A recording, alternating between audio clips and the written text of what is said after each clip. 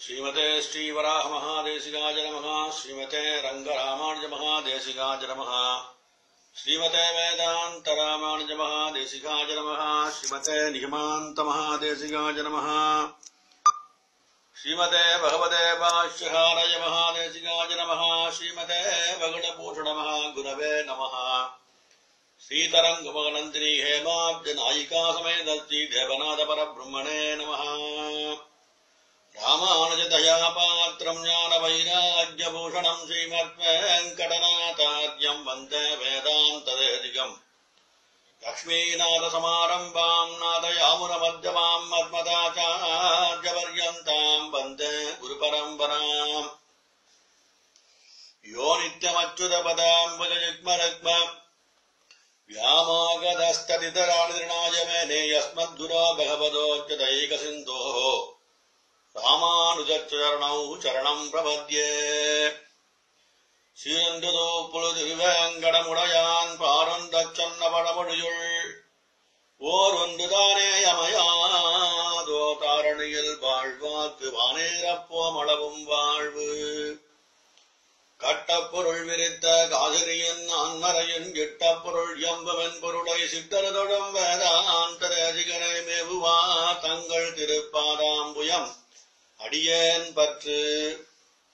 கீதை ஒழிந்தருளும் வேதாந்த தேசிகனார் பாதாரவிந்த மலர் பத்தியுடனன் பற்று. ஸ்ரீமதே நிகமாந்த மகாதேசிகாஜ நமஹா. இதுகாரும் ஆசிரியால் வந்து சுவாமி தேசிகன் பரமகிருபையோட அனுகிரகம் பண்ண இந்த கீதார்த்த சங்கிரகம் அவருடைய பாசுரங்களை சேவிச்சுட்டு யதாமதி கீதையிலேருந்து அர்த்தத்தை பார்த்துட்டு இருக்கோம் பனிரெண்டு பாசுரங்கள் நமக்கு பிராப்தமாயிருக்கு. இன்னைக்கு பதிமூணாவது பாசுரம் பார்க்கணும். பாசுரத்தை முதல்ல விண்ணப்பம் பண்ணிடுறடியே மேற்கொண்டு வியாக்கியானங்களை பார்க்கலாம். தன்கடலில் பத்தி தாழாததும் அதன் காரணமாம். எங்குணர்ச்சிந்தையும் ஏதறியார் கவ்வடிமைகளும் தன் கருமங்களழியாதவர்க்கு இலகு நிலையும் தன் கடலன்பர்க்கு நல்லவன் சாற்றினன் பார்த்தனுக்க. அப்படின்னு சாய்கிறது சொல்லப்படுற விஷயம் என்னன்னா இந்த அத்தியாயத்துல தன் கருமங்கள் அறியாதவர்க்கு இலகு நிலை. ஒரு சுலபமான ஒரு உபாயத்தை பெருமாள் இங்கு காட்டுறான். அவன் வந்து எப்படின்னா அவனுக்கு பிரியமானவர்கள்.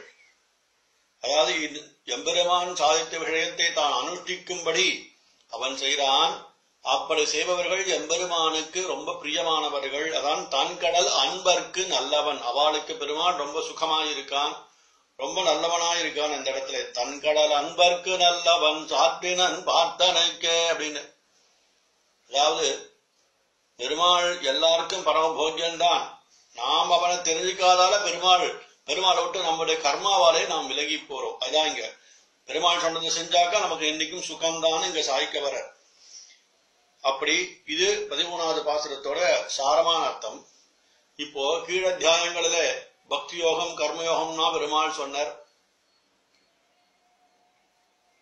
சொல்லிட்டே வந்த போது உன் குணங்கள்லாம் தெரிஞ்சின்றப்பா. எனக்கு உன் விஸ்வரூப தரிசனத்தை அனுகிரகம் பண்ண வேண்டும் என்று பிரார்த்தித்து கேட்கிறான் அர்ஜுனன் பெருமாளும் திருவுள்ளம் இறங்கி தான் எந்தெந்த குணங்கள் தனக்கு இருக்கோ தன்னுடைய விபூதிகள்லாம் எப்படி இருக்கோன்னு பெருமாள் எப்படி சாதிச்சாரோ அந்த ரீதியிலே அவன் அறிந்து கொள்ளும்படியாக அவனுக்கு ஜீவசக்ஷுவை அனுகிரகம் பண்ணி தன் விஸ்வரூப தரிசனத்தை பெருமாள் பரம பிரீதியோட அவனுக்கு காண்பிச்சார். அவனுக்கு திருப்பியும் ஒரு சம்சயம் ஏற்படுறது. அதாவது ரெண்டு பேர்னு சொன்னப்பா அதாவது கர்மயோகம். தானிக்குன்னு சொன்னேன்.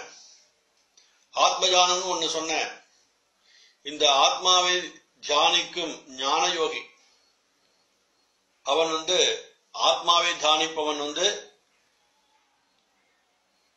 ஞான யோகின்னு சொன்ன பகவானை தியானிக்கும் பக்தி யோகி. ரெண்டு பேர் இருக்கான்னு சொல்லிட்டு இந்த ரெண்டு பேர்ல பலன் கொடு எந்த யோகமானது அவனுக்கு விரைவிலே பலன் அளிக்கும் அப்படின்னு அர்ஜுனனுக்கு சந்தேகம்.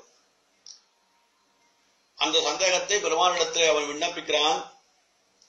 பெருமான் அதற்கு பதில் சொல்லி பக்தியோகத்துக்கு வேண்டியதையும் ஞான யோகத்துக்கு வேண்டிய பல விஷயங்களையும் இந்த அத்தியாயத்திலே பெருமாள் அவனுக்கு அவனுடைய சந்தேகத்தை நிவர்த்தி பண்றார். அதாவது பகவான் உவாச்சன்னு ஆரம்பிச்சார். மையா வேச்சமனோ ஏமாம் நித்தியுக்கா உபாசதே. ஸ்ரத்தையா பரயோ பேதாக தேமே யுக்ததமா மதாக அப்படின்னு சாச்சார் அப்பா எவன் ஒருவன் என்னிடத்திலே அவனுடைய மனதை ஸ்திரமான மனசை வச்சு என்னுடன் எப்போதும் சந்நிகிதனாய் அதாவது சேர்ந்திருக்க வேண்டும் என்ற பெரிய அவா அந்த ஆசையை கொண்டு மிகுந்த ஸ்ரத்தையோடு ஸ்ரத்தையாதயம்னு சொல்லித்து வேதம். எது ஏனோதானு பெருமாள்கிட்ட பக்தி இல்லை. ஸ்ரத்தையான பக்தி. அந்த பக்தியை கூடியவனாய் பெருமாளையே எவனருன் உபாசிக்கிறானோ அவர்கள் என்ன சொல்றாங்கன்னா யோகம் செய்பவர்களை விட சிறந்தவர்களாக என்னால் எண்ணப்படுவார்கள்னு சாட்சிய பெருமாள். அதான் யோகம்னா என்னங்க? ஞான யோகம் இந்த ஞான யோகத்தை செஞ்சு ஆத்ம தரிசனம் பண்றதை விட பக்தி யோகம் பண்ணி என்ன அறிஞ்சுக்கிறானே? பகவத் பக்தி பண்ணி. பகவானை தியானிக்கும் பக்தி யோகி இருக்கான். அவன் சிறந்தவன். அப்படின்னு பெருமாள் இங்க சாய்ச்சார். இந்த ரெண்டு பேரும் பண்ண தியானத்துல வித்தியாசம் இருக்கு. பலத்திலே வித்தியாசம் இருக்கு. முதலாம் அவனான அவன் வந்து ஆத்மாவை பார்க்கணும்னு விரும்பி தியானம் பண்றான். இரண்டாவதா சொல்லப்பட்டவன் என்ன? என்னையே பிரயோஜனமாக நினைக்கிற முதலாம் அவன் அப்படி இல்லை. ஆத்மதர்சனம் மட்டும் போரும் என்றான். இரண்டாமவன் பகவானையே அவன் நினைவாகவே தியானிச்சு அந்த அனுகிரகத்தின் சேதமாக பெருமாளை அவன் சாட்சா்காரம் பண்றான். என்னை தியானம் பண்ணுவது சுலபமாக இருப்பதோடு சீக்கிரமும் என்னுடைய பார்வை அவன் பேர விழும்பா. சீக்கிரம் பலன் கொடுக்கும்னு. அதுதான் உயர்ந்தது என்று பெருமாள் வந்து இங்க சாய்கிறார். ஆத்ம ஆத்ம தியானம் பண்றான் அந்த பிரகாசியாத ஆத்மாவிடம். ஆசையுடைய மனத்தை கொண்டு பண்ணும்போது அவனுக்கு கஷ்டம் கொஞ்சம் அதிகம். அது வந்து அவ்வளோ சீக்கிரத்துல அந்த ஆத்ம தரிசனமானது கிடைச்சுடாது. ரொம்ப அவ கஷ்டப்பட்டுதான் அந்த காரியத்தை சாதிக்கணும் ஆனா பக்தி யோகி பகவத் பக்தி யோகி பெருமாளை மட்டும் தியானிக்கிறவன் இருக்கானே. அவனுக்கு பெருமாளுடைய அனுகிரகமானது விரைவிலே கிட்டும்னு சொன்னார். ஆத்ம உபாசனம் ரொம்ப கஷ்டம் அப்படின்னு சொல்றதுக்கு பெருமாள் வந்து நிறைய லட்சணங்கள் சொல்றாருங்க அதை வந்து அவ்வளோ உபய பண்ணிட முடியாது. ரொம்ப யமநியம வாசனங்கள் இயலாவி புனரடக்கம் தமதறியன் தாரணகள் தாரையரால் நிலவொடுக்கம் சமமுடைய சமாதி நலம் சாதிப்பார்க்கு மட்டுமே இது இலக்காகும். ரொம்ப கஷ்டப்பட்டு சாதிக்கணும் அது ஆத்ம தரிசனத்தான. அதனாலே அது கஷ்டம்பா என்ன ஒரு உபாசிச்சா அது சுலபம்னு பெருமாள் சாய்க்கிறாருங்க. மேல சாய்க்கிறார். ஏது சர்வாணி கர்மாணி மயி சந்நியஸ்ய மத்பராக அனன்யேயைவ யோகேன மாம் தியாயந்த உபாசதே அப்படின்னு. அதாவது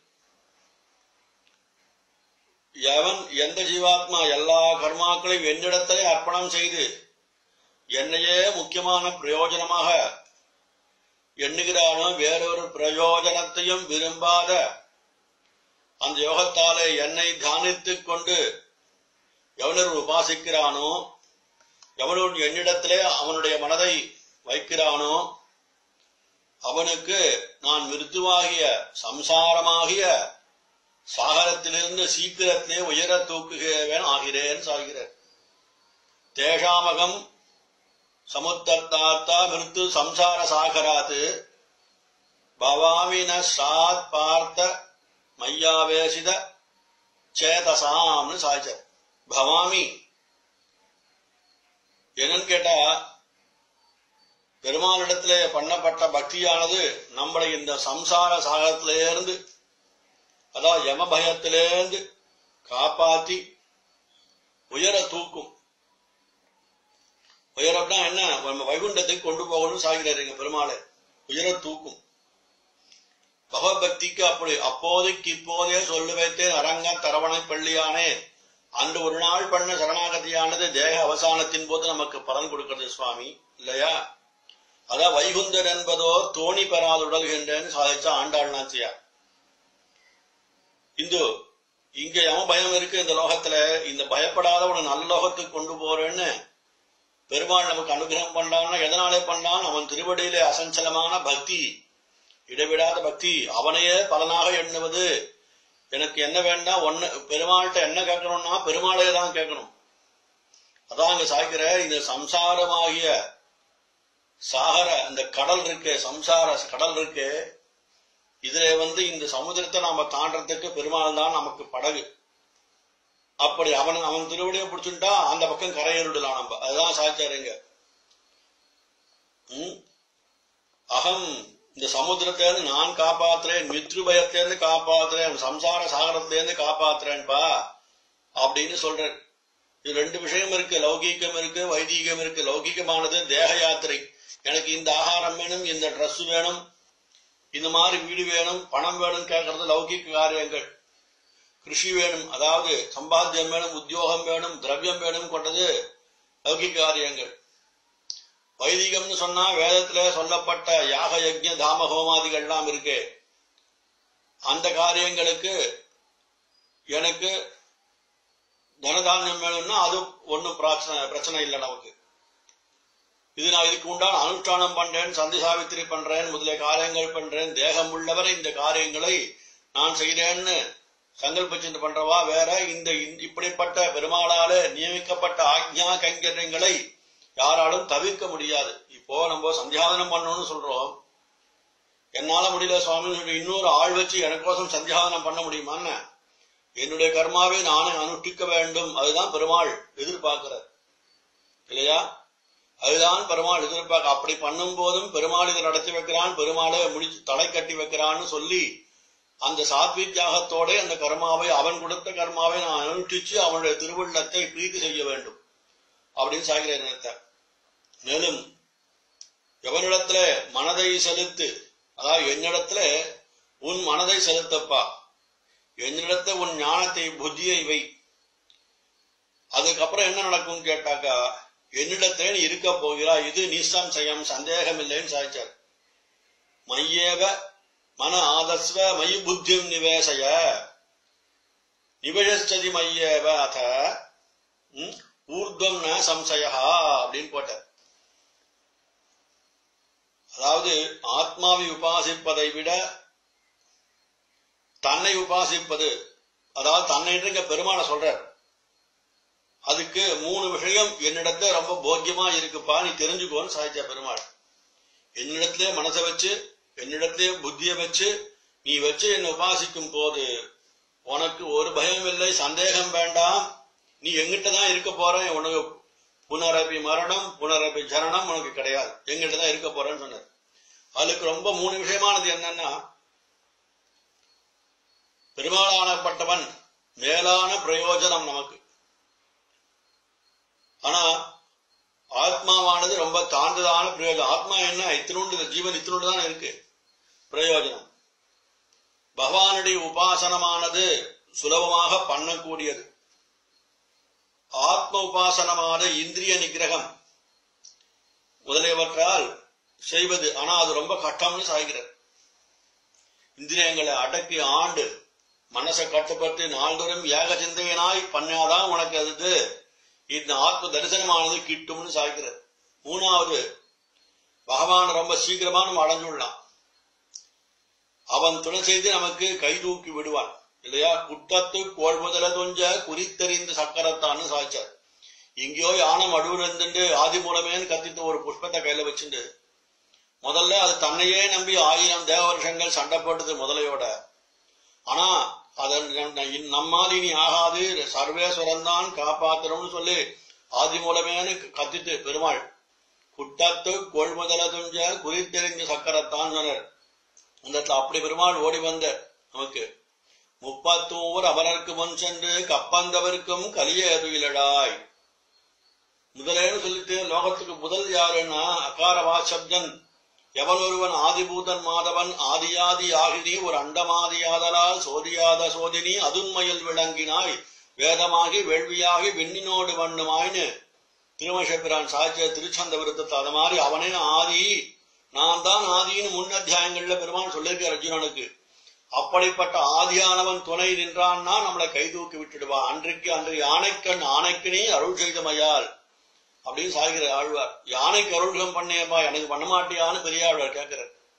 அப்படி இந்த ஆத்மாவை பார்ப்பது சீக்கிரத்திலே ஆகாது. ஞான யோக அந்த ப- ஞான யோகிக்கு வந்து ரொம்ப சீக்கிரத்தை கிட்டிடாது. ஆனா பக்தி யோகமான பெருமாளுக்கு பெருமாளை பத்தி யோகம் பண்றவன் இருக்கானே அவனை பெருமான் சீக்கிரத்திலே தன்னிடத்தை கூட்டுண்டு கை தூக்கி விடுவான். இந்த காரணத்தினாலே நீ அங்க போகாதப்பா என்ன தியானம் பண்ணு உனக்கு சீக்கிரம் அனுகிரகம் கிடைச்சிரும்னு சொல்லிட்டு பெருமாள் அர்ஜுனன் சொல்ற எப்படி அடைய முடியும் சுவாமி? என்னால உன்னிடத்துல மனசு வைக்கணும்னாலும் என்னால வைக்க முடியல எனக்கு அந்த சக்தி இல்லப்பா. என்னிடத்துல சக்தி இல்லை அப்படின்னு சொல்றான் அர்ஜுனன். அதுக்கு பெருமாள் சாகிறார் அபியாசத்தாலே என்னை அடைவதற்கு ஆசைப்படு. புனப்புனகா என்னை பத்தி நினைச்சுட்டேரு எப்பையும் என்னையே தியானம் பண்ணுப்பா ஒன்னாலே முடியும் அப்படின்னு என்- அது எப்படி சுவாமி நான் பண்றதுன்னு பெருமாள்கிட்ட கேட்கலாம் என்னுடைய கணக்கில்லாத எண்ணற்ற எதோவாச்சோ நிவர்த்தந்தே என்னும்படியாக சொல்லினால் தொடர்ச்சி நீ சொலப்படும் பொருளும் நீ சொல்லினால் சொடப்படாது தோன்றுகின்ற சோதினி சொல்லினால் படைக்க நீ படைக்க வந்து தோன்றினாய். சொல்லினால் குருங்கனின் குணங்கள் சொல்ல வல்லரேன் திருமேஷாழ்வ சாதிச்ச திருச்செந்தபுரத்துல அப்படிப்பட்ட என்னுடைய எண்ணிலாத உயர்ந்த திருக்கல்யாண குணங்களை அதை புடிச்சுக்கோ. அதை புனப்புனகா நினைச்சுட்டே என்னை பத்தி நினைச்சுக்கோ. என்னுடைய சௌந்தரியத்தை நினை என் குணங்களை நினைன்னு சொன்னது பெருமாள். என்னப்பா உன் சௌந்தர்யம் கேட்டா? உன் அழகு என்னன்னு கேட்டா சௌந்தரியம் என் திருமையின் அழகு. சர்வாங்க சுந்தரனாக இருக்கான் பகவான். அந்த ரூபங்களை மனசுல நினைச்சுக்கோ. ஒருத்த ஒருத்தருக்கு ஒரு ஒரு விதமான பிடிப்பு ஒரு ஒரு தெய்வத்துக்கிட்ட அதாவது ஒரு ஒரு அர்ஷாமூர்த்தி கிட்ட ஒரு ஒரு தெய்வம்னா கிருஷ்ணன் தான் நமக்கு எல்லாம் பரதேவதை. அவனே நிசும்மன் அவனே வாமரன் அவனே திருவிக்கிரமன் அவனே ராமன் கிருஷ்ணன். இப்படி பெருமாள் வந்து வேற வேற அவதாரங்களை பண்ணாலும் அவாவாளுக்கு அர்ஷாமூர்த்தியின் மேலே ஒவ்வொரு ஈர்ப்பு. அந்த மூர்த்தியை நினைச்சுக்கணும். உதயவநாயகன் எப்படி இருப்பார்? இந்த மதவான சாத்துபடி இன்னைக்கு. தேவாதிராஜன் அப்படி சேவை சாய்க்கிற சிக்குத்தாட சாத்திண்டு. திருவேங்கமடையால் எல்லா சொர்ணத்தையும் தன் மேல சாத்திண்டு எல்லாருக்கும் சேவை தாழ்த்து அனுப்பிருக்கமாட்டான் அப்படி எந்த திருமேனி உனக்கு அந்த எந்த எந்த திருமேனி சௌந்தர்யம் ஒண்ணு இருக்குதோ அதை நாம் தியானிக்க வேண்டியது. ஏன்னா பெருமாளுடைய அழகு அப்படி இருக்கு. சுந்தரமான ரூபத்தை நினைப்பதிலே அலுப்பு வராது முதல்ல. அதனால என் சௌந்தர்யத்தை நினைன்னு சொல்ற பெருமாள். அடுத்தது சௌசீல்யமான என் குணம்னு சொன்னார். இந்த சௌந்தரத்தை எல்லாரும் மூந்துருவா நீண்டவ பெரியவாத கண்கள்னு சொன்னார். இந்த மாதிரி அழ அழ- அ- அழகனூர் அரங்கமேன்னு சொன்னார். ஸ்ரீரங்கமே அழகு. அதுல ஸ்ரீ ரங்கநாதன் ரொம்ப அழகு சுவாமி. இப்படி ஒரு வைகுண்ட ஏகாதசனிக்கு என்ன கூட்டம் வருது ஸ்ரீரங்கத்துல? இல்லையா? அந்த ஒரு ஒரு ஒத்த மாலையோட பெருமாள் வெளில வரும்போது ஜிலு ஜிலு ஜிலுன்னு அந்த ரங்கன் வந்து அந்த சத்திர சாமரத்தோட வெளில வரும்போது சேவிக்கிறதுக்கு கோடி கண்கள் வேண்டும் இல்லையா அது என்ன எதனால? இந்த சௌந்தரியத்தினாலே அந்த அழகினாலே அவன் திருவடியிலே உள்ள காந்தியானது அவனை நோக்கி நம்மளை இழுக்கிறது சுவாமி. அதனாலே போறோம். அந்த அழகு அவனை நோக்கி இழுக்கிறது. அழகனூர் அரங்கவன்றன் சாச்சர் அப்படியானது இங்கே அடுத்தது குணத்தை சொன்ன சௌசீல்யம் அப்படின்னு. பகவானுடைய முக்கியமான குணம் சௌசீல்யம். அதாவது தன்னுடைய பெருமை பெருமாள் மேம்பட்டவன். நம்மெல்லாம் நம்ம கீழ்ப்பட்டவா ஜீவாத்ம கடலை எழுப்பமானவா நம்மெல்லாம் தன்னுடைய மேன்மை பாராட்டாது அதாவது என்னுடைய இழப்பமான ஸ்திதியை பாராட்டது தன்னுடைய மேன்மையும் தான் ரொம்ப பெரியவன்பா அப்படின்னு சொல்ல இல்லாமல் அதாவது நம்மளோட பெருமாள் கலந்து பழகுறான் இல்லையா? ராமாவதாரத்துல குகனோடும் கங்கதன்னில் கொண்டதுமோர் அடையாளம்னு சொன்னார். சபரி மோக்ஷ சாட்சி பூதா அப்படின்னு சொன்னார் சுவாமி தேசிகர். சபரி மோட்சத்துக்கு போறது பெருமாள் சாட்சி பூத்தரா இருந்து இவன் கொடுக்கல. அவ பண்ண தபஸ் அந்த மதங்க மகர்ஷி ஆசிரமத்திலே அவ பண்ண ஆச்சாரிய கைங்கரியமானது அவளை பெருமாள்கிட்ட கொண்டு போச்சு. ரிஷிகள் சாதிச்ச அம்மா எங்க காலம் முடிஞ்சு போச்சு ராமன் வருவான் காத்துன்று உன் ரட்சிப்பான் வந்துன்னு சொல்லிட்டு போனான். அவளும் கர்மசத்தியாக ஆச்சாரியன் சொன்ன வாக்கை கேட்டு இருந்தனாலே பெருமாளே அங்க ஏழினர் அவ கொடுத்த அந்த உபசாரங்களை ஏத்துண்டு அங்கேயே பிராண விநியோகம் பண்ணா சபரி மோக்ஷ சாட்சி பூதா. அப்படியே விமானத்தை போகும்போது பெருமாள் இங்கேருந்து கீழே கடாட்சம் பண்றது அப்படி பாக்கணும் அவன் இடத்துக்கு வந்து பெருமாள் அவனுக்கு கொடுக்கிறார் பார்த்தீரா அது சுக்ரீவன் ஒரு குரங்கு இனம் சுவாமி. இவன் வந்து பெரிய தசரத சக்கரவர்த்தியோட குமாரன். பெரிய ராஜா இவன். இவன் வந்து பரமபதத்திலே வந்திருக்கான் அவதாரம் பண்ணி ராமனா அவதாரம் பண்ணி. அவன் வந்து குரங்கோட ஒரு ஸ்நேகம் வச்சிருந்தான் சுவாமி. வானர வீரரோட பழகினான் சுவாமி. எதனாலே? அந்த சௌசீரிய குணத்தாலே. அதை நினைச்சுக்கோ அதை நினைச்சு என்ன தியானம் பண்ணுன்னு சொல்ற பெருமாள். அந்த குணம். அடுத்தது சௌகார்த்தம் அப்படின்னு அப்படின்னா என்ன? எல்லாரும் நன்னா இருக்க வேண்டும் என்று எண்ணம். இது பகவானுக்கு ரொம்ப முக்கிய குணம். பகவான் நம்மளை என்னைக்கும் திரஸ்காரம் பண்றதுல நம்ம தான் பெருமாளை கோச்சுக்கிறோம். நமக்கு ஏதாவது கஷ்டம் வந்தா இந்த தெய்வம் இப்படி என்ன படுத்துறதேன்னு சொல்லி நம்ம தான் நினைக்கிறோம். அதனாலே இந்த சௌஹார்தம் என்ற குணத்தினாலே பெருமாள் எல்லோரையும் தாரதமியம் இல்லாம எல்லா ஜீவனையும் சமமாக பார்க்கிறார். பெருமாள் ஒருவன் நம்முடைய நன்மைக்காகவே ஒரு க்ஷணமும் பாடுபடுபவன். பகவானை பற்றி நினைச்சா ஒரு இன்பம் ஏற்படுறதுப்பா. இந்த குணத்தினாலே நீ என்னை மற்றொரு அபியாசம் பண்ணு அப்படின்னு பெருமாள் தன்னை பத்தி சொல்றார். அது வாத்சல்யம். நம்மளிடத்தை குற்றத்தை பார்க்காமல் யாரிடமும் ஆசை நம்முடைய தோஷங்களை பாராட்டாமல் பெருமான் நம்மிடத்திலே அன்பு செய்யக்கூடியவனாய் இருக்கான். அவனை பற்றி நாம் நினைக்கும் போது அவனிடத்துல ஒரு ஆசை வரும் இல்லையா? நம்மிடத்தே வாச குற்றம்னா என்ன? எவ்வளோ பகவதபச்சாரப்படுறோம் பகவதபச்சாரம் நிறைய கோயில்ல போய் ரொம்ப தகாத வார்த்தைகள் பேசுறோம். யாராவது பெருமாள் இப்படி எழுந்தா இப்ப அப்பதஷ்டமா போறோம். சன்னதிகள்ல பேசக்கூடாதுன்ற அங்க போய் பேசுறோம். இல்லையா பெருமாளை மட்டும் தியானம் பண்ணணும்னு சொல்லிதான் பெருமாள் சன்னதி இருக்கு. அங்க போய் ஆத்து சிந்தனை இந்த இவாளை பத்தி புகா சொல்றது அவாளை பத்தி புகா சொல்றது இதெல்லாம் பண்றோம். இது எல்லாத்தையும் பெருமாள் போ நம்ம குழந்தை ஏதோ பண்ணிட்டு போறான் போ போன்ட்டு பெருமாள் நம்மளை தள்ளி விட்டுண்டு அதனால குற்றம் பாராட்டாமல் பிராட்டிடத்திய குற்றம் பாராட்டின ஒரு காகத்துக்கு கண்ணடிவே செய்கிற காகுத்தன்னு பெருமாள் பேர் வாங்கினான். அதற்கும் ஒரு பெருமாள் ஒரு சின்னதா ஒரு சின்ன பனிஷ்மெண்ட் கொடுத்து பெருமாள் அதுக்கும் ஒரு ரட்சிச்சான் இல்லையா காக சரணாகதியிலே அப்படிப்பட்ட வாத்சல்யமான பெருமாளிடத்தை இருக்குப்பா. அதை நினைச்சுக்கோ அதை நினைச்சு என்ன தியானம் பண்ணுன்னு சாய் அடுத்தது காருண்யம். மேல விழுந்து ஐயோ என்று இறங்கி காப்பாற்றும் குணம் அதாவது காருண்யம். அடப்போ இதுக்கு ஆதரவு தெரிவித்த யாரும் இல்லையப்பா. நான் தான் இதை காப்பாற்றணும் சொல்லி எண்ணத்தோட காப்பாற்றக்கூடிய அந்த இறங்கி காப்பாற்றும் இடம் வைகுண்டத்திலேருந்து பெருடாருடனாய் பெருமாள் அந்த குட்டத்து அங்க வந்து அந்த முதலைய சம்ஹாரம் பண்ணி யானைய பெருமாள் காப்பாற்றினார் வந்து அங்கேருந்தே பண்ணிக்கலாமே சுவாமின்னா அதாவது ஆசிதாளுக்கு பெருமாள் கிட்ட வந்து அனுகிரகம் பண்ணோன்ற எண்ணம். அதனாலேதான் பெருமாள் பார்க்க அச்சாமூர்த்திலாம் இந்த தாற்பயத்தை வச்சுதான் நம்ம பெருமாள் நம்ம பெரியவா புறப்பாடுன்னு ஒண்ணு வச்சா சன்னதிகள்ல. ஏன்னா பெருமாளை வந்து சேவிக்க முடியாதவா லட்சம் பேர் இருக்கா. அவளும் இந்த பெருமாளுடைய திவ்ய சௌந்தர்ய திருமேனியை சேவிக்க வேண்டும் என்று எண்ணம் வச்சு பெருமாளுடைய ஆக்கியினாலே இந்த புறப்பாடு எல்லாம் பண்ணி கால் முடவனாயிருப்பான் கண்ணு தெரியாதனாயிருப்பான் அவனுக்கு ஒரு அனுகிரகம் வேண்டுமே அவனும் இந்த மங்கள விக்கிரகத்தை சேவிச்சதன் பாவத்தை நிவர்த்திக்கணுமேன்னு சொல்லிட்டு வீதிகள்ல வீதியார வருவான் என்ன ஆழ்வார் ஆண்டாள் சாதிச்சா மாதிரி வீதியில வருவன் ஆத்து வாசல் விவகாரம் சமர்ப்பிச்சு பெருமான சேவிக்கிறோம் இல்லையா சன்னதிக்கு போக முடியலனாலும் இது என்னன்னு கேட்டா இதுதான் அந்த காருண்யம். இறங்கி வந்து காப்பாற்றுவது வைகுண்டத்திலேருந்து வந்து யானையை காப்பாத்தினான்பா. அயோத்தியிலேருந்து வந்து வானர வீரர்களுக்கு பெருமா அனுகிரகம் பண்ணான் இல்லையா? சபரிக்கு தான் வந்து மோட்சத்துக்கு போறதுக்கு சபரிக்கு சாட்சிபூத்தரா இருந்தான் அந்த பெருமாள். இதெல்லாம் அவனுடைய என்ன பண்றது? நம்மளுடைய தாழ்ந்த அளவை பாராம அவனுடைய மேன்மையும் பாராட்ட வந்து பெருமா அனுகிரகம் பண்ணதான் அந்த காருண்யமானது. மாதுரியம் பேச்சு செய்கை குணம் சகிக்க முடியாம எல்லாவற்றையும் இருந்து இன்பமா இருக்கிறதான் மாதுரியம். பேச்சில ஒரு மாதுரியம் செய்கையில ஒரு மாதுரியம் குணத்திலே ஒரு மாதுரியம். அதாவது கெட்டதே கிடையாது எல்லாம் நல்லது. அடுத்து பெருமாளத்தை உள்ள அந்த காம்பீரியம் அகமேவ பரதத்துவம்னு வரதன் வந்து அந்த கருடாருடனாய் வரும்போது வெளியில அந்த தேவாதிராஜ சந்தலே வரும்போது என்ன வரும்? காம்பீரியம் இருக்கு சொல்லுங்க. தேவிநாயகன் நேற்று போட்டோ போட்டிருந்தா வை வைகுண்ட ஏகாதசிக்கு. அப்ப திரு திரு திரு பெருமாள் அந்த அந்த பிரப சாத்தின மூணு மாலை சாத்தின வெள்ளை எழும்போது என்ன ஒரு காம்பீரியம் சொல்லுங்க. சீனிவாசன் வெளியில திருத்தேரில் எழுதும் போது என்ன ஒரு காம்பீரியம் இருக்கு? இதெல்லாம் அர்ச்சையிலே இப்படி இருக்கும்போது சாக்ஷாத் கிருஷ்ணன் நேரவே அர்ஜுனன் சேவிச்சான் கிருஷ்ணனை. அந்த பரதத்தை நேரே சேவிச்சான் அப்ப எப்படி இருந்திருப்பார் பாருங்க பெருமாள். ராமாவதாரத்தை எப்படி காம்பீரியமா இருந்திருப்பார் பாருங்க. அதான் சொன்னான் இந்த காம்பீரியம் அந்த அழகு.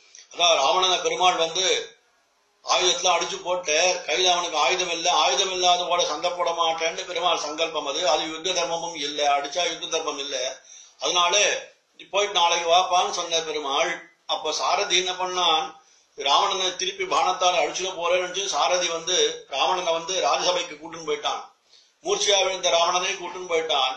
அங்க போன உடனே ராவணன் கண் மூச்சு பா எங்கடா நான் இருக்கேன்? ஏன்டா யுத்த பூமியில இருந்து என்னை இங்க கூட்டு வந்தேன்னு கேட்கும்போது மகாராஜா உங்களுக்கு வந்து அவர் பானத்தால அடிச்சார். அதனால உங்க உயிருக்கு ஆபத்து வந்துருமேன்னு சொல்லிட்டு உங்க உயிரை காப்பாத்துறது என்னுடைய கடமையாச்சு சாரத்திய தொழில் பண்றவனுக்கு. அதனாலே அவன் இங்க இங்க ராஜ சபைக்கு கூட்டு வந்துட்டேன்னு சொன்னா வெசானா ராவணன் தன்னுடைய சாரதிய பார்த்து ஏன்டா இப்படி பண்ண? என்ன அழகா அவன் நின்று அந்த பானத்தை போடுறான்டா. எப்படி இப்ப என்ன காம்பீரியமா நிக்கிறான்டான்னு பெருமாளை பார்த்து சொன்னானா ராவணன். ஏன்னா அந்த பெருமாள காம்பீரமான எதிராளி மனசை கூட கலங்கடிச்சு அவன் பெருமாள் பக்கம் இழுத்துரும். அதனாலே இந்த காம்பீரியத்தை எதனாலும் கலங்காத மனது உள்ளவனாக இருந்து சகிக்க முடியாத துட்டத்தனத்தையும் இன்னும் பெருமாள் நம்மளை பார்த்து சகிச்சுண்டு அப்படிப்பட்ட பெருமாள் திருமேனி நாம் பார்க்கும் போது நமக்கு அவன் மேல ஒரு ஈர்ப்பு ஏற்படுறது இல்லையா அதுக்கோசம் அந்த காம்பீரியத்தை நினைச்சு என்னை தியானம் பண்ணுன்னு சொல்லி அடுத்து ஔதாரியம். கணக்கு பாராமல் வள்ளல். வள்ளல். திருப்பாவலை ஏற்றகலங் எதிர்பங்கு மீது அழைப்ப மாற்றாதே பால் சொரியும் வள்ளல் பெரும் பசுக்கள்னு ஆச்சாரர்களுக்கு சொல்லுவா இந்த இடத்துல. இதான் பெருமாளே பெரிய வள்ளலாச்சிய சுவாமி. இவ்வளவுதான் கொடுக்கணும்ல கொடுக்கணும்னு நினைச்சா கொடுத்துட்டே இருப்பான். அந்த வாங்கிக்கிறதுக்கு நம்ம பாத்திர புத்தரம் அதுதான் நம்ம கிட்ட அந்த குணம். நம்முடைய கர்மா அதை தடுத்து போறது. அதனால இந்த ஔதாரியம் குணத்தை பார்த்து நீ தியானம் பண்ணுன்னு சொன்னார். சௌந்தர்யம் அப்படின்னு எந்திர சத்ருவுடனும் பயம் இல்லாமல் சண்டைக்கு போவான். சௌந்தர்யம். சௌந்தர்யம் அழகுன்னு கூட சில பேர் சொல்லுவா அப்படி எவனா இருந்தாலும் அவனை தீர்த்து கட்டணான்னு வீரியம். சௌந்தர்யம் ஔதாரியம் வீரியம். வீரியமானது என்ன? ஓச்சல் இல்லாம களைப்பில்லாம பண்றது பராக்கிரமம். சண்டையில சத்துல ஜெயிக்காம இருக்கிற இல்லாத குணத்தை சொல்றார். அத்த சத்தியகாமத்வம் அப்படி சர்வஜன் சொன்னான். பெருமாளுக்கு தெரியாத வஸ்து லோகத்தில் ஏன் ஏன் கேட்டா அவன் தான் எல்லாத்தையும் படைக்கிறான் அவனே காக்கிறான் அவனே அழிக்கிறான் பெருமாள். அந்த தன்மை சர்வகாமத்வம். அதாவது ஆசைப்பட்டு அனுபவிக்கக்கூடிய வஸ்துக்கள் இருக்கு அதனோட அழிவில்லாத தன்மை. பகவானிடத்துல அனுபவிக்கக்கூடிய மிக உயர்ந்த வஸ்துக்கள் இருக்கு. அவை எப்போதும் அழியாமல் நினைவில்லாமல் இருக்கக்கூடியவை. சத்திய சங்கல்பத்துவம் நினைத்ததே அப்படியே எல்லாவிடம் தடங்கள் இல்லாமல் செய்யறது. எப்பயுமே சத்தியத்தை கடைபிடிக்கிறது சர்வேஸ்வரத்துவம் எல்லாருக்கும் இறைவனாயிருக்கை. எல்லாருக்கும் அவரவர் விதிவழி அடையடைந்தனே எல்லாருக்கும் இவன் தான் இறைவன். ஏன்னா பிரம்மருத்தாயில் இவனை படைத்தான் நான்முகனை நாராயணன் படைத்தான் நான்முகனம் தான் முகமாய் சங்கரனைத்தான் படைத்தான். அப்படின்னு ஆழ்வார் சாதிக்கிறார். சர்வ காரணத்துவம் எல்லாத்தையும் பெருமான் சிருஷ்டிக்கிறான். இப்படியாகிய இந்த பதினாறு குணங்கள் பெருமானிடத்தில் இருக்கு. இந்த குணங்களை எண்ணி பார்த்த அர்ஜுனா என்ன நினைச்சு நீ அந்த அபியாசத்தை தொடங்கடா உனக்கு அனுகிரகம் கிடைக்கும்னு சாய்கிறார். அதாவது என் குணங்களை அபியாசம் செய்வதே மனதை அடக்கி அது மனசை அவனை சீர்படுத்தும்பா. அப்படிப்பட்ட அபியாசத்தாலே நீ முன்னேறி வருவாய். அதுதான் பெருமான் நினைக்கிற பெருமான் நினைக்கனா திவ்யம விக்கிரகத்தை மட்டும் நினைக்கல. பெருமானுடைய குணம் காருண்யம் வீரியம் தைரியம் சர்வசக்தித்வம் சர்வ நியாமியத்துவம் சர்வகாமத்துவம் பராக்கிரமத்துவம் சத்தியத்துவம் சர்வ காரணத்துவம் எல்லாத்தையும் நினைச்சுண்டு பெருமான தியானம் பண்ணா அவனிடத்தை சீக்கிரம் வரலாம். அவனுக்கு அந்த யோகத்தை அனுஷ்டிப்பதற்கு உனக்கு அதுவாகவே இயற்கையாவே உனக்கு பலம் வந்துடும் சாய்ச்ச. அது மாதிரி பெருமாள் அவன் கேட்டதுக்கெல்லாம் பதில் சொல்ற அபியாசத்திலே சக்தி இல்லாதனாக ஆகிறேயானாலும் என்னுடைய காரியங்களையே முக்கியமாக பிரயோஜனமாய் உடையனாய் இரு. அபியாசத்துல வந்து உனக்கு முடியலனா கூட இப்படி என்ன குணத்தை நினைக்க முடியலனா கூட எனக்கு கைங்கரியம் பண்ணுவது முக்கிய விஷயமாக கொண்டது அதுவே உனக்கு சிதி ஏற்படுத்தும்னு சொன்ன. என்ன கைங்கரியம் சுவாமி? என்னை அளவில்லாத பிரீதியுடன் தியானம் பண்ண முடியலையா? அது சாத்தியம் இல்லையா என்னுடைய குணங்களையே நினைச்சு நினைத்து பழகு அப்படின்னா என்னிடத்த பிரீதி உண்டாகும் சொன்னார். அதுவே மேலும் மேலும் வளர்ந்து என்னிடத்திலே உன்னை கொண்டு விடும் சொன்னார். அதற்கும் தயங்குறையாப்பா அப்படின்னாரு. என்ன பண்ணணும்னா அதாவது எனக்கோசரம் வேலை செய். வேலை செய்யறதுனா என்ன? பெருமாளத்தை வேலை செய்யறது ஒரு என்ன சொல்ற லௌகிகமான வார்த்தை. கைங்கரியம்னு சொல்லணும். பெருமாளுக்கு கைங்கரியம் பண்ணு. என்னையே நினைச்சு கைங்கரியம் பண்ணுப்பா. அபியாசத்தை விட்டு எனக்காகவே ஏற்பட்டவளாயும் பக்திக்கு துணையாக செய்யக்கூடிய கைங்கரியத்தை செய்யு சொன்ன என்ன பண்ணுது? ஒரு சன்னதியை கட்டு. ஐஸ்வர்யம் இருந்தா ஒரு பெருமாள் சன்னதியை கட்டு. இல்லையா? ஒரு புஷ்ப தோட்டம் போடு. எப்படி வந்து நமக்கு பெரியாழ்வார் தொண்டரடிப்படிகள் ஆசி ஆண்டால் காட்டிய வழி ஒரு புஷ்ப தோட்டம் போடு. துளசி தோட்டம் போடு. அதை பெருமாளுக்கு கொண்டு சமர்ப்பி. ஒரு கோயில திருவிளக்கு கைங்கரியம் பண்ணு. சரியா? திருவிளக்கு கைங்கரியம் பண்ணு. கோவிலை துப்புரவா பெருக்கு. ஒண்ணுமானாகவே என் கோயில் சீத்து பல்வடிகால் குடிகுடி வழிவந்தா செய்யும். என்னன்னா கோயில பெருக்கு சுவாமி பெருக்கிறது கைங்கிறது சுத்தமா பெருமாள் சனியை சுத்தமா வச்சிருக்க வேண்டாம். சொல்லணும் நம்ம மாத்திலே நம்ம என்ன பண்றோம்? அந்த மோடை நன்னா மொழி நன்னா பளிச்சுன்னு மொழிகி நன்னா பளிச்சுன்னு ஸ்ரீராம ஜெயமோ ஆச்சாரியன் திருநாமத்தோ பெருமாள் பேரையோ எழுதி அது கீழே ஒரு கோலம் போடுறோமோனோ நல்ல வழக்கு சமர்ப்பிக்கிறோமோனோ நம்ம பாத்துல. ஏன்னா திருவழக்கு தான் முக்கிய முதல் கைங்கரியம் பெருமாளுக்கு. திருவழக்கு இல்லாமல் எந்த கைங்கரியம் பெருமாளுக்கு பண்றது? அது வந்து பிரயோஜனம் இல்லை. ஏன்னா பெருமாள் சன்னதிலே பார்த்தா தூங்கா விளக்குன்னு வச்சிருக்கா. எப்பவும் நிறைய எண்ணெய் கொடுத்து பெரிய திரி போட்டு சின்னதா வச்சுட்டு போவா. எரிஞ்சுட்டே இருக்கும். ராப்பகலா எரியும்.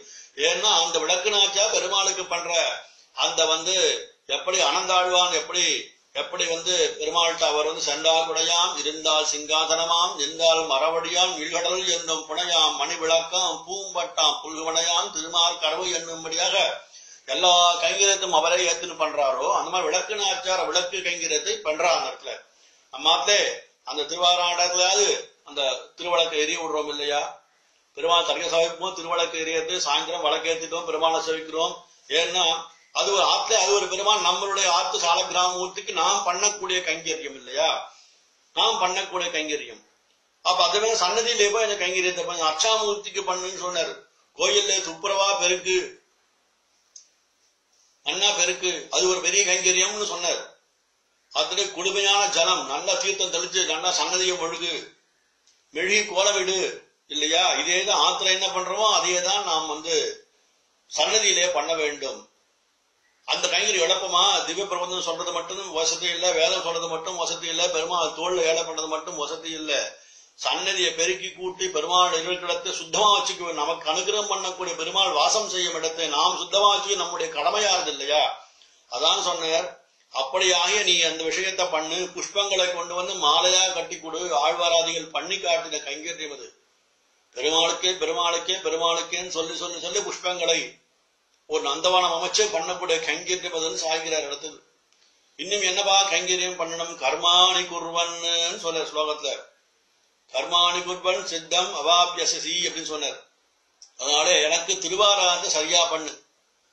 அதனால திருவாராந்த சரியா பண்ணி ஒரு உபச்சாரத்தை பக்தி ஸ்ரத்தையோட கர்ம ஸ்ரத்தையோட சொன்னார். சரி திருவாரம் எப்படி தெரிஞ்ச மந்திரத்தை சொல்லு பெருமாள் ஏத்துக்கிறான் அது அந்த நீ சொல்லக்கூடிய மந்திரமானது ஒரு திருப்பா மட்டும் தெரியும்னா அதை கர்ம ஸ்ரத்தையோட சொல்லு. புருஷயுத்தம் மட்டும்தான் சுவாமி தெரியும்னா அதையும் ஸ்ரத்தையோட சொல்லப்பான்னு சொல்ற இந்த இடத்துல. அதாவது என்னுடைய நாமங்களை சொல்லுவது ராமா கிருஷ்ணா கோவிந்தா அப்படின்னு பெருமாளை ஜபிச்சுட்டு அவன் நாமங்களை சொல்லுவது எப்ப பார்த்தாலும் சகசநாமம் எதுக்கு வச்சா பெரியவா? சகசநாமத்தை சொன்னா எந்த வியாதியும் அண்டாது சக க்ஷமம் அந்த குடும்பத்துக்கு கிடைக்கிறதுனா அவன் நாமத்தினுடைய உயர்ந்த பெருமை என்ன? அப்போ அதன் மூலமா பெருமாள் கிட்ட நம்ம கிட்ட கிட்ட போக முடியும்னு சொல்றார் பெருமாள் சன்னிய பிரதட்சணமா போ அப்படின்னு ஸ்ரீரங்கத்தில் இருக்கிறவா வடக்கு வடக்கு வாசல் இருக்கிறவானா பெருமாள் பக்கம் வடக்கு வாசலுக்கு தாயா சந்தியில இடது பக்கம் லெப்ட் எடுத்து திருப்பி தெற்கு பக்கம் போய் அப்படி போய் அப்படி போறதுதான் சத்திரம் பஸ் ஸ்டாண்டுக்கு போவா. அதே மாதிரி வரும்போது அப்படி அந்த பக்கமா வந்து மேலண்ட விதியா வந்து இப்படி வந்து தசாசனதிக்கு வருவா. அந்த பெருமாள் அப்போ உன்னை அறியாமல் நீனே பெரிய அந்த பெருமாள் பெரிய பிராகாரங்களை பிராகாரங்களை பிரதட்சணம் பண்ற இல்லையா? எந்த திவ்யாங்க விக்கிரமான தோல்ல எழுதி வந்தாலும் பெருமாளை பிரதட்சணமா தான் போகணும். அடிச்சியல கோஷ்டி வந்தா பெருமாளை பிரதட்சணம் அந்த கோஷ்டி பிரதட்சணமா தான் போகணும்.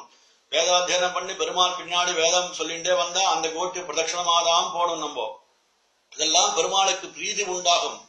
இந்த கைங்கரத்துல பெருமான் திருவுள்ள உகக்கிறான் சுவாமி அதே மாதிரி கோயில பிரதட்சணம் பண்ணுன்னு சொல்றா. ஓ ரெண்டு பிரதட்சணம் பண்ணதாலே ஒரு பெரிய பிரதட்சணம் பண்ணா உனக்கு உடம்புக்கு தேக ஆரோக்கியம் ஏற்படுறது வேத்து கொட்டுறது உன்னுடைய விஷயங்கள்லாம் கழிஞ்சு வெளியில போறது. பெருமாளுக்கு ஒரு சந்துட்டியா இந்த குழந்தை என்ன பிரதட்சணம் பண்ணாப்பா இந்த குழந்தை என்ன விழுந்து சேவிச்சாம்பான்னு சொல்றா. இல்ல என்னுடைய சந்தேகங்களை ஸ்தோத்திரங்களை சொல்லு அப்படின்னு. ஸ்தோத்திரம்னா பெருமாளுடைய நாமங்கள். ஆழ்வாராதிகள் பெருமாளை பத்தி எழுதி வச்சிருக்கா? வேதம் எத்தனையோ பஞ்சாதி சொல்றது. சுவாமி தேசியம் ஸ்தோத்திர பாடம் எழுதி வச்சுக்கிற பாஷையார் கத்யத்திரம் பண்ணி வச்சிருக்கார். இதெல்லாம் எதை யாரை பத்தின்னா சாட்சா சிவப்பதியான பெருமாளை பத்தி இருக்கு. அதை ஸ்தோத்திரம் பண்ணப்பான்னு சொன்னார். விழுந்து சாஷ்டாங்கமாக சேவி அப்படின்னார் உன் இந்திரியத்தை மொத்தத்தையும் பூமியிலே ஸ்பரிசம் பண்ணி என்னை சேவிடா. ஒரு முறிந்து விழுந்த மரம் போலே பெருமாளை விழுந்து சேவிக்கிறோம்னு சொல்றான். அதாவது ஒருத்தன் இருந்தா ஒரு ஆபீஸ்ல வேலை பண்றான். ஆபீஸ்ல வேலை பண்ணிட்டு வீட்டுக்கு வந்த உடனே அவன் ஆபீஸர் ஃபோன் பண்றான் அப்பா நான் சாயந்தரம் கோயிலுக்கு வரேன்னு அங்க வந்துடுன்னு சொல்றான். உடனே இவன் ஆபீஸ்ல வந்துட்டானுன்னு விழுந்தடிச்சுன்னு கோயிலுக்கு போறான். ஆபீஸ்ல துவயசாம்பதியோட நிக்கிறார். அது கிட்ட போகும்போது அதான் இவனுக்கு கோயிலுக்கு போகணும்னு எண்ணம் இல்ல. இப்பதான் வந்திருக்கான் ஆபீஸ்ல இருந்து. கோயிலுக்கு போகணும்னு எண்ணம் இல்லை. ஆபீஸ் இருந்துட்டானே அப்பயா சரி கோயிலுக்கு போலான்னு அடு விழுந்தடிச்சு ஓடும் போய் துவயஸ்தாம்பத்துக்கிட்ட என்ன பண்றான் கால் தடிக்கு விழுந்துட்டான் சுவாமி. விழுந்த உடனே இந்த பெருமாள் பாக்குறார் அடாடா ஓடி வந்தான் விழுந்துட்டான். இவனுக்கு கோயிலுக்கு வரணும்ன்ற எண்ணம் இல்ல. ஆனா இருந்தா வந்து துவயசம்பத்திட்ட என்னை பார்த்து விழுந்தானே. அதுக்கோசம் ஒரு வரவு கணக்கு வச்சா பெறுவோம் என்ன இவன் என்னை இந்த ஜீவாத்மா என்னை சேவிச்சான்னு பெருமாள் எழுதி வச்சு போயிறான். இது அவர் டைரியில. பாத்தீரா அதாவது சாட்டாங்கமா விழுந்துட்டான். பெருமாளை செவிக்கணும்னு எண்ணமில்லாதான் செவிக்கிறான். இருந்தாலும் அவன் சேவிச்சதுக்கோச பெருமாள் ஒரு பலன் கொடுக்குறான் சுவாமி அவனுக்கு. அப்படி விழுந்தவனை கூட தன் வரவு கணக்கிலே வைத்துக் கொள்கின்ற பெரிய பரமபுருஷன் யாருன்னா ஸ்ரீ கிருஷ்ணன் இந்த பெருமாள் தான் நமக்கு. அப்படி இதெல்லாம் நீ செய்யும் போது என்ன ஆகும்னா உன்னுடைய மனசானது என்னை நோக்கி வரும்பா. இந்த யோகமானது உன்னை அங்க என்கிட்ட கொண்டு வந்து சேர்க்கும். இப்படி எனக்கும் என்று செய்யப்பட்ட கைங்கரத்தை ஒண்ணு ஒண்ணு நீ பண்ணும்போது உன்னுடைய பாவங்கள் உன்னை விட்டு விலகி போறது. அதனாலே நீ என்னை நோக்கி வருகிறாய் அணுகில் அணுகும்னு சொன்னார் நம்மாழ்வார். இப்படியாக என்னை நினைத்துக்கொண்டு என்னுடைய கைங்கரங்களை பண்ணுங்க என்னை பற்றி உபாசனத்தை பிரயோஜனமாய் மனதிலே வச்சு கீழ்ச்சொன்ன கர்மங்களை செல்ல செய்ய செய்யக்கு சக்தி இல்லைன்னா கூட அப்போது மனசை அடக்கி எல்லா கர்மங்களுடைய பலன்களையும் தியாகம் செய். பலன்களை பல தியாகம் பண்ணிடு. இன்னென்ன கைங்கரியம் பண்ணா எனக்கு ஒரு பலன் கிடைக்கும் இந்த பலன் பெருமாளுக்கு தான் சாமி. அவன் தான் என்ன செய்ய வச்சான். அவனுக்கே நான் திருப்பி கொடுத்தேன். இது எல்லாம் நீ எடுத்துக்கப்பா. நீ போட்ட பிச்சைன்னு சொல்றோம் இல்லையா? இதுதான் பல தியாகம். இப்படி ஒரு விஷயம் சொன்ன பெருமாள். தியானத்தினுடைய அபியாசத்தை விட ஆத்ம சாட்சா்காரம் சிறந்ததுன்னு சொன்னார். இந்த ஆத்ம சாட்சா்காரத்தை விட ஆத்மாவின் தியானம் விசேஷம் சொன்னார். அதை விட வசதி எதுன்னு ஆத்ம தியானத்தை விட கர்மங்களே பல தியாகம் செய்வது. நான் பண்ண கர்மாவிலே வரக்கூடிய பலன் மொத்தமும் இந்த பெருமாள் திருவடிக்கு அது விசேஷமானது. இந்த கர்ம பல தியாகம் செய்வதனால் என்னன்னா ஒரு மனசுக்கு சாந்தி ஏற்படுறது. சாந்தி ஏற்பட்டா பெருமாள் இவன் எதை எவதையும் எதையும் எதிர்பார்க்கலப்பா. என்ன குறிச்சு எல்லாம் பண்றான். அதனால இவனுக்கு நான் அனுகிரகம் பண்றேன்னு பெருமாள் செய்யற அத்வேஷம். தேசம் செய்யாம இருக்கு எல்லா பிராணிகளிடத்திலையும் சமமா ஒரு பாவம் ஏற்படணும். அப்படி ஏற்பட்டால் நமக்கு ஒரு நல்ல ஸ்திதி ஏற்படுறது. அது எல்லாரையும் சமநோக்கோடு நாம் பார்க்கறது. எவனொருவன் சந்தோஷம் கோபம் பயம் வெறுப்பு இவைகளெல்லாம் விட்டவனா இருக்கானோ அவனும் எனக்கு ரொம்ப பிரியன்னு பெருமாள் சாய்க்கிறார். அவன் தான் எனக்கு ரொம்ப பிரியன் அனபேட்சான்னு சாய்ச்சார். ஆத்மாவை தவிர வேறு ஒரு வஸ்துவிலையும் ஆசை இல்லாமை அன் அபேக்ஷா.